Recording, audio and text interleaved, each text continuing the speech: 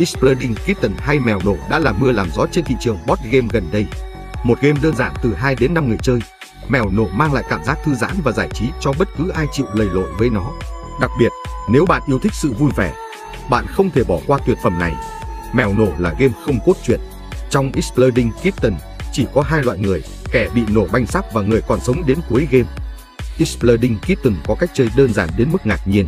Về cơ bản, mỗi lượt bạn có thể làm bất cứ thứ gì với những lá bài trên tay của mình và cuối lượt bạn rút một lá. Những lá bài trên tay sẽ giúp bạn giành một phần lợi thế. Tuy nhiên, nếu bạn chẳng may rút ra lá bom Exploding Kitten, bạn nổ banh sắc và bạn là một kẻ thua cuộc đáng thương. Hoặc ngược lại, bạn vẫn còn sống sót, lượt chơi chuyển sang người bên cạnh và cứ thế. Khi chơi mèo nổ, tình bạn của bạn sẽ được đem ra thử lửa khá nhiều lần. Cách chơi đơn giản, dễ nắm, dễ học. Trò chơi có thể kết thúc chỉ trong 15 phút với khói mù mịt khắp bàn cùng những con tim tàn vỡ. Không còn gì thêm để suy nghĩ, bạn hãy thử và cảm nhận niềm vui của nó.